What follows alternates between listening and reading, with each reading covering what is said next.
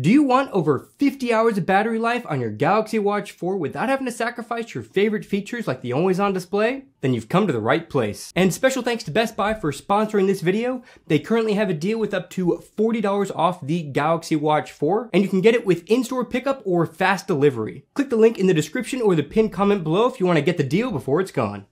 The first thing you want to do is change your watch face to something darker because this is an OLED screen and the lighter the image is on the screen, the more battery it's going to use. To change the watch face, just long press the screen and select something darker. Alternatively, you could tap the customize text underneath the watch face, then swipe across and look for an option called background color and scroll down until you find something darker.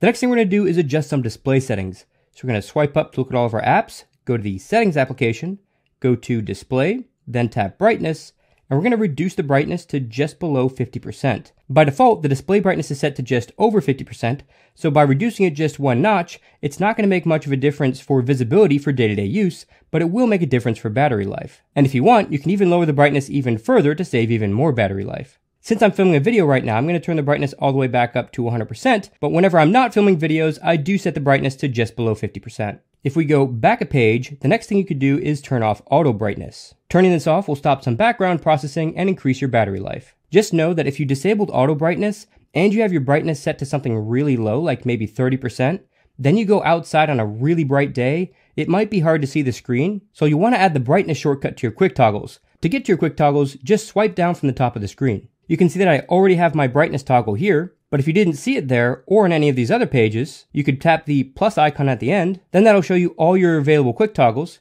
You should see brightness, tap that, then you can long press it and drag it to whichever page you'd like. Scrolling further down the display settings will get you to another setting you want to change, and that's your screen timeout. You want to set that to the lowest setting of 15 seconds.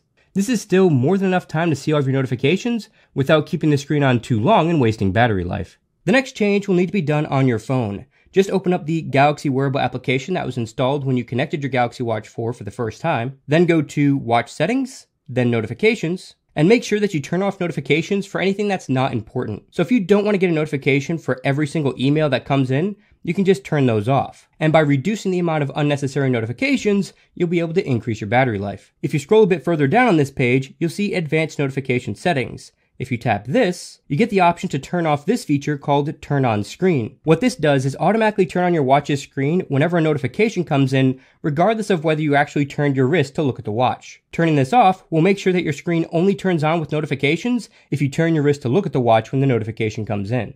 Since the Watch 4 supports advanced sleep tracking, some of you are probably going to want to sleep with the watch on. If you do that, you're going to want to make sure that you turn on good night mode. This is going to disable the touch to wake, turn bezel to wake, and turn your wrist to wake features. And that's going to prevent you from interacting with your watch while you sleep. The only way to turn the screen on when goodnight mode is enabled is to press one of the two side keys. Speaking of sleep tracking, if you want to save more battery life while you're sleeping, open up the Samsung Health application, scroll all the way to the bottom and tap settings, scroll down just a little bit, and you'll see blood oxygen during sleep and snore detection options. If you're concerned about the amount of oxygen you're getting while you sleep, this may be a good feature to keep on.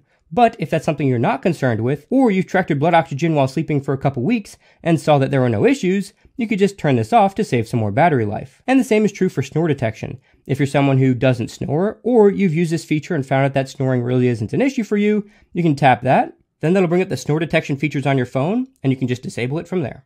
While we're in these settings, if we scroll back up a little bit, you'll see heart rate and stress measurements. Currently, they're set to measure continuously, but you can save a bit of battery life if you switch to measuring every 10 minutes or switch to manual only. If you switch to manual only, it'll only measure your heart rate when you manually start a heart rate measurement or when you're doing a workout. And for stress, you can measure continuously or just manually if you want to save some battery life. Scrolling further down, there's an option called activities to detect. Now what this does is automatically detect if you're doing a workout and starts the workout tracking automatically. If you're someone who always manually starts your workouts and you don't think you'll ever use this feature, you can turn that off to save a bit more battery life. Scrolling a little bit further down reveals another option called inactive time alerts. What this does is alerts you when you've been inactive for a set period of time. Right now, it's set to get alerted after 50 minutes of inactivity. The purpose of these alerts is to remind you to get up and start moving. But when this feature is enabled, it's always going to be monitoring your movement in the background and using up some of your battery life. So if this is a feature you don't care for, I would definitely turn it off. Now we're going to change some sound and vibration settings by going back into the settings application and going to sounds and vibration. Instead of using vibrations for your alerts, try using sounds instead because that's going to use less battery life. If you'd prefer to get notifications through vibration instead of sound, there are some other settings you can change to save battery instead. If you scroll down a bit further, you can tap the vibration text and switch from a long vibration to a short vibration. You can also scroll down a bit further and switch from a strong vibration to a light vibration. And if the vibration just isn't noticeable enough for you and you have it on light and short, try changing just one of these settings at a time instead of turning them both on and using more battery life. Backing out to the main sound and vibration settings and scrolling down towards the bottom, you'll see an option called System Vibration. These are all the vibrations you get when interacting with the watch. So when you tap a toggle, you'll feel a bit of a vibration. When you scroll to the bottom of something, when you go back a page, you'll feel little vibrations when doing those actions. Turning this off is a great way to save some battery life without hindering the performance of the watch. If you don't use Bixby often, which you should, and I'll have a video linked at the end of this video if you want to see some powerful Bixby features,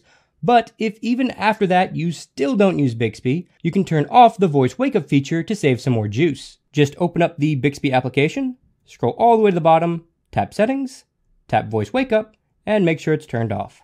The default keyboard option on the Galaxy Watch 4 is pretty slow to type on because it's this T9 style typing and it takes quite a long time to send any messages. And the more time it takes to send a message, the more battery life you're using. So if you want to send messages much faster and save battery life while you're at it, then you're going to want to download an application called Gboard. So go to your applications and open up the Google Play Store, tap the search icon, tap the keyboard, and search for Gboard. At the top, you should see Gboard, the Google keyboard. Tap that and install it. Once it's installed, go to Settings, General, Input, Keyboard List and Default, Default Keyboard, and change that to Gboard. Now, if I go back into a message, I'll get a full QWERTY keyboard with swipe support, which is significantly faster for sending messages. If you go to your quick toggles and swipe over, you should see an option for Wi-Fi. This can be used to download music or connect to your phone when you're outside of Bluetooth range. Whenever you're not downloading music, or you're not going to be outside of Bluetooth range from your phone, you can just keep this feature off to save a bit more battery life. And the same is true for the GPS. If you're always going to be using your phone's GPS, just turn it off on your watch to save even more battery life. And if you're someone who doesn't use mobile payments like Samsung Pay or Google Pay, you can turn off NFC. By default, whenever you start navigating somewhere using Google Maps on your phone, it's automatically going to bring up the navigation on your watch as well. That's really handy if you're going to be walking or biking somewhere, but not quite as useful if you're going to be driving somewhere. So to disable that feature for driving specifically, go to the Google Maps application, tap the search icon, scroll all the way down and tap settings, tap auto launch, and disable it for driving. And if you're someone that doesn't bike anywhere, you could also disable it for biking as well. After applying all the changes up to this point in the video, I was able to get just over 50 hours of battery life on my 46mm Galaxy Watch 4 Classic. That was with two nights of sleep tracking, minimal use otherwise, and no exercise tracking. If I were to include exercise tracking, I would have lost an extra 1% battery for every 10 minutes of a basic workout, or about 2.5% every 10 minutes if the exercise was running outdoors, using the built-in GPS on the watch, while also leaving my phone at home and connecting Bluetooth earbuds to the watch so I could listen to music on the run. So that's the worst case scenario for battery usage during a workout. So if I did a basic 30 minute workout every day, then my battery life would have been just less than two days. And if I was also doing other things like using the watch for navigation or sending a ton of messages with the watch, then it obviously would have reduced my battery life a bit more. The way I got over four and a half days of battery life was to simply put the watch on the charger whenever I was getting ready for the day or getting ready for bed. The time it takes me to shower, get changed, brush my teeth was more than enough time each day to keep the watch running for that four and a half days. To be more specific, it's about 30 minutes of charging a day and it doesn't interrupt my daily routine at all. Now keep in mind, this is battery life without ever turning off the always on display.